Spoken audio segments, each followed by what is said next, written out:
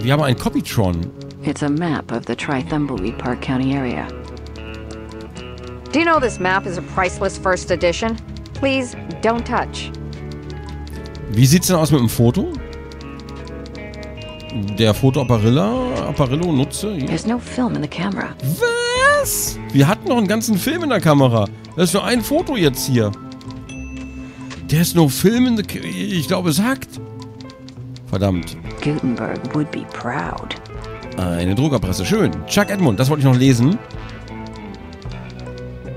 Chuck Edmund gewinnt eine Million im Quickie Pair Lotto mit seiner besonderen Glückszahl 50. Ob das wichtig werden könnte? Lenore Edmund Trunkenheit am Steuer. Die haben wir schon kennengelernt. Äh, schreit, wisst ihr, wer ich bin bei Verhaftung? Ja, kleine Hure. Okkultes Orakel. Madame Morena warnt die Bevölkerung vor einem purpurnen Meteor Meteoreinschlag. Juhu. Ach ja. Babykrokodile entkommen Pet Emporium. Ist die Kanalisation ihr neues Zuhause? Oh oh.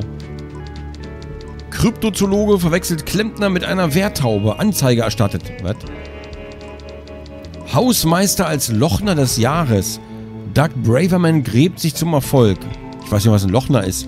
Surreal, äh, nee, surrealistischer Filmemacher Hannibal Finch prüft Thimbleweed Park als Drehort für Film. Ja, ob das passieren wird? Den Rest haben wir, glaube ich, schon gelesen, ne? UFO-Enthusiasten, Moment, stürmen die Stadt nach Tentakelsichtungen. Ah, alles klar. Mandat im Hitchen Post. So, hier. 5 Cent. These must contain journalistic gold. These must these must Oh. contain journalistic gold. Or color Copytron 3000 for all your copying needs. Copies 5 cents each. Ich würde gerne, ich frage gleich mal nach, kann ich, kann ich die fragen, ob ich vielleicht eine Kopie davon mache? Can I help you? Ja, ah, ja, hier. Why can't I take your map? I'm a federal agent. Okay, that's actually two questions. First, being a federal agent doesn't mean you can waltz into a newspaper office and take their map. Uh, we have a little thing called the Fourth Amendment. And second, that's a priceless original. If you want a map, check the Quickie Pal. Mhm, mhm, mhm. Can I, as a private citizen, please have your map? Nope, it's a priceless original. Mist. Ah ja, übrigens. Don't you mean the Fifth Amendment? Nope, that sets out rules for indictment by grand jury in eminent domain and protects the right to due process. Okay, ciao. Nice chatting. Got a murder to solve. Please don't mess with the police scanner. I'm waiting for a call about a man on the road and a possible car accident. Okay, das hat sich so angehört, als wären da mehrere Möglichkeiten. Warte. Please don't mess with the police scanner. I'm waiting for a call about a man on the road and a possible okay. car accident. Schade. Ist immer das gleiche. Okay, ich würde gern... Ich, wieso kann ich kein Foto davon machen? Das verstehe ich nicht. Ein Foto von der Karte und dann einfach äh, auf den Kopierer legen und groß kopieren. Das muss doch gehen, das muss doch drin sein. Laserdisc Chalet. Oh, Laserdiscs. All boarded up and I can't see anything. I don't know why. Laserdiscs are the future. Ja, habe ich, äh, hab ich so gehört. Laserdiscs waren auf jeden Fall, war wie CDs, nur doppelt so groß. Das war quasi wie, wie so eine CD-LP, kann man sagen. Wen haben wir denn da? Buy me a drink? Wen haben wir denn da? Den Portemonnaie. You got any uh, secondhand crystals? I'm a federal agent and I have some questions for you. Hmm. You know anything about the body found by the bridge? A body?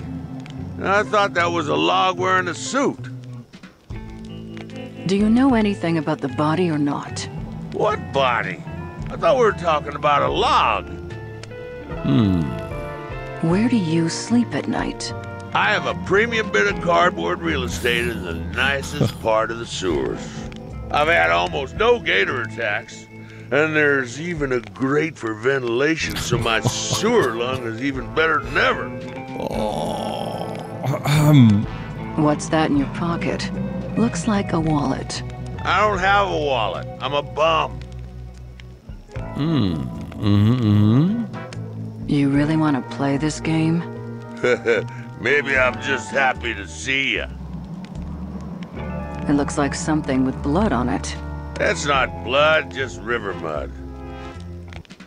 Mhm. A river like the one by Trestle Trail where the body was found. Well, um. Well, I can't give it to you. What would I put my money in? I don't care. See? It's not so easy, is it, Hotshot? Hmm. I've had enough.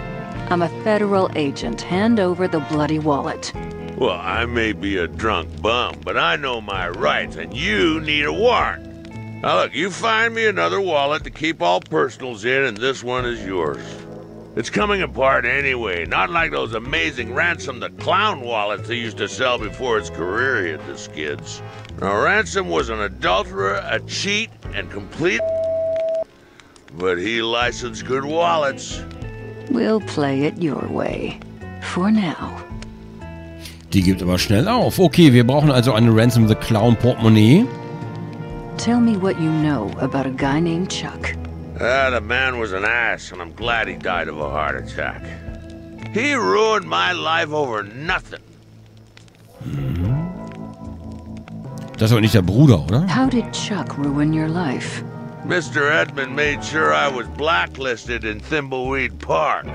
My so-called friends turned their backs on me. Ah. My watch repair business mysteriously burnt down, and I lost everything.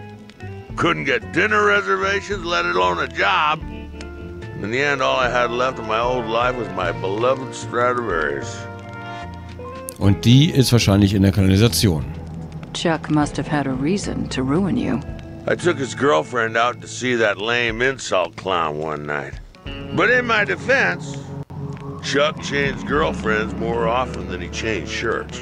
Well, how was I supposed to know she was flavor of the month for the Pilotronics Playboy? Hmm. We'll talk later. Don't leave town. Where would I go? Hey, buy me a drink? Filled to the brim with smelly trash. Okay. Post Office, da haben wir auch noch nicht drin. Aber den jungen Mann da hinten kennen wir. Grumpy Gamer. Rede mit Postangestellter, das können wir ruhig machen. Excuse me. Be with you in a second. Okay. I'm in the middle of sorting. How can I help? Äh, hier. I'm a federal agent. Know anything about the body out by the bridge? You're a federal agent. I work for Uncle Sam too. As one government agent to another, I'll do what I can to assist. Hm, da ist aber nett. Do you know anything about the body out by the bridge? No, everyone in town is still collecting their mail as usual. No one from my route is missing, and I would definitely notice if they were. I mean, not to brag, but I did consider joining the feds. It's just not as prestigious or as challenging as postal work. Ja. Why is there so much mail to sort when the town seems deserted? That's classified information. As a federal agent, you should know it's my duty to uphold the privacy and the sanctity of the mail. Unless it pertains to an investigation and you have all the necessary paperwork, I can't help you. Natürlich. Who is all this mail addressed to? I can't tell you. It would be a federal crime. I would assume you knew that, being a federal employee and all. Or is this some sort of sting to get you crooked mail clerks? Because I keep things ship shape here in the Thimbleweed branch, so there's no need to worry about us here. Okay. Know any good postal jokes? Oh, you bet I do. Why are postal workers such great comedians? Ähm, They have a special delivery, huh? Get it? Ugh, That's terrible. Der war echt furchtbar. Okay, noch ein Postbeamtenwitz, komm. Tell me a good postal joke. What did the mailman say to the customer who asked if he could ship a donkey in the mail? Ähm, äh, They told her they'd haul ass and find out. Whew. That's so funny, I forgot to laugh. vor allen Dingen, das, ich stelle mir das echt schwer vor. Du musst ja dann Postbeamtenwitze, wenn du das Spiel lokalisierst, wenn du das Spiel auf Deutsch übersetzt, musst du ja quasi die ganze Zeit eigene Postbeamtenwitze erfinden, weil die englischen, du kannst die englischen ja nicht übersetzen. Das geht ja einfach nicht. Übrigens hier Ed Edison, ich weiß. Ähm, das geht ja einfach nicht. Know any other postal jokes? what do postal workers do on their vacation? Okay, den kommt man übersetzen. Am liebsten Urlaub, ähm, They go to the travel agent and book a package deal.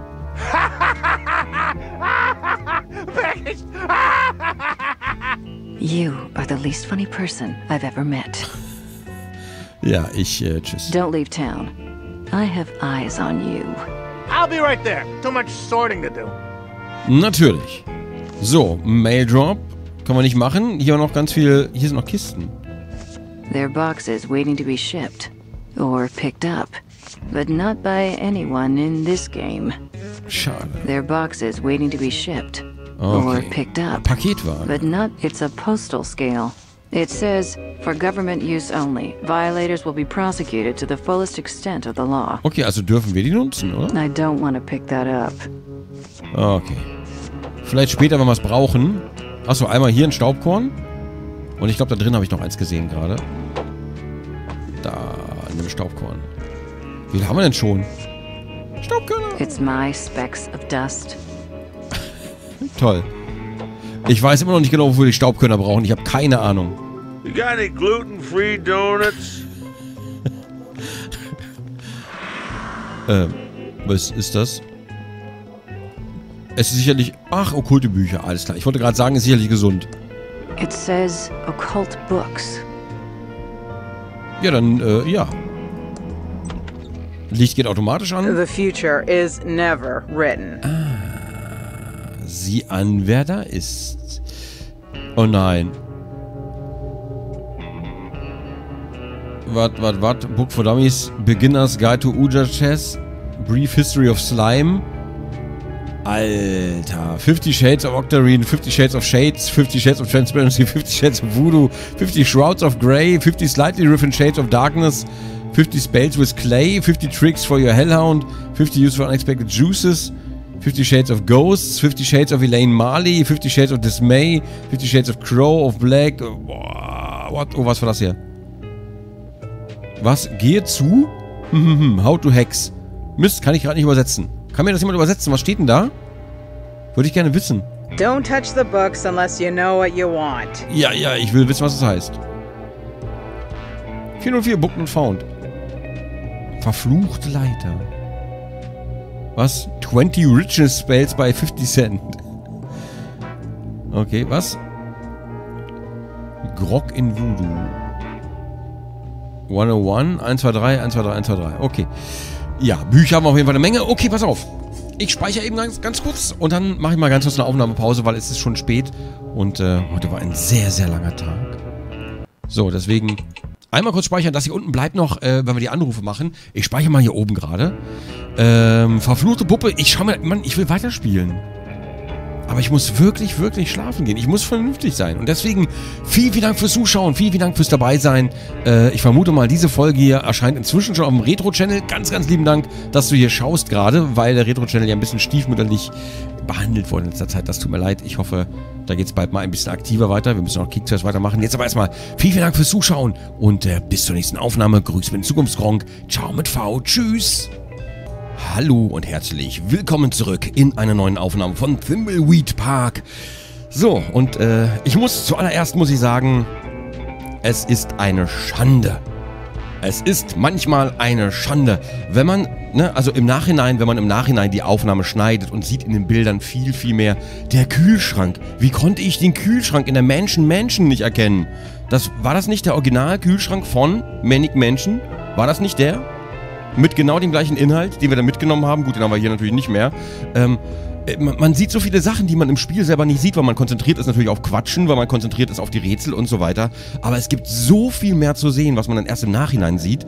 Also bitte nicht denken, man ist dumm oder dämlich. Man kann nicht immer alles auf einmal sehen. Aber es ist wirklich, äh, es ist wirklich ein Unterschied, ob ich jetzt äh, selber spiele und dabei moderiere ähm, oder ob ich das einfach dann hinterher nochmal anschaue. Da sieht man noch viel, viel mehr. Not getting any closer to that. Und das Problem ist, ich will das aber alles auch im Let's Play haben. Verfluchter Umhang. It looks pretty ratty. And I do mean ratty. No way I'm touching that. Das sieht rattig aus, ein rattiger Umhang. Oh Mann, und das verstehe ich, das ist bestimmt auch wieder ein Easter Egg und das verstehe ich nicht. Mann, bestimmt irgendwas, woran ich jetzt wieder nicht denke. Wo ich dann irgendwann später so vielleicht, ah, warte, ach so. Gut, aber das bei dem Umhang ist jetzt nicht so. No way I'm touching that. Okay, der Kopf. This head seems almost alive. I think I saw it move. Ich wünschte, die Frau, die Madame Morena, würde einfach vor so einem Kessel sitzen und dann puff, in so einer Wolke erscheinen, in so einer grünen. Als Hinweis. So, verfluchte Theke. Hier ist einfach alles verflucht. Verfluchte Leiter. It's on cursed wheels. Nein. Oh Gott, wie konntest du nur? Warte mal, eine Sache. Dark Arts. Warte, warte, warte. Hier, Guide to White Magic for Races. Don't touch the books unless you know what you want. Achso, Entschuldigung, ich wollte gerade mal gucken, was, was da so vorhanden ist im Spiel.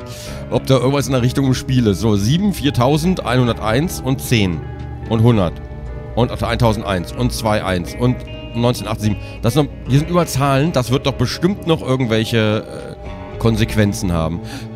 Chef Scallion. Oh, a chat with Chef, äh, Chef Scallion. Das ist ja von Monkey Island 2. Don't touch the books unless you know what you want. Ja, verfluchter Tee. Oh Gott. Hm.